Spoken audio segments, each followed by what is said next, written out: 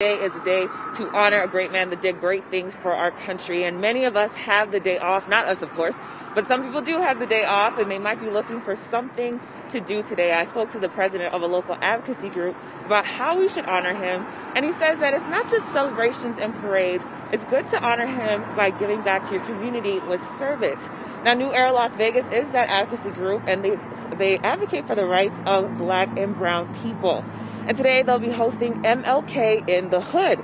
They'll be giving out groceries, clothes, shoes, and essential items for people who need it most.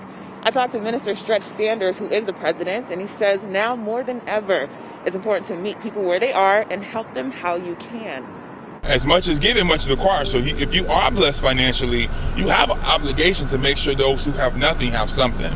And then if you have, you know, those who don't have much to give financially or physically, well, maybe you can give your time.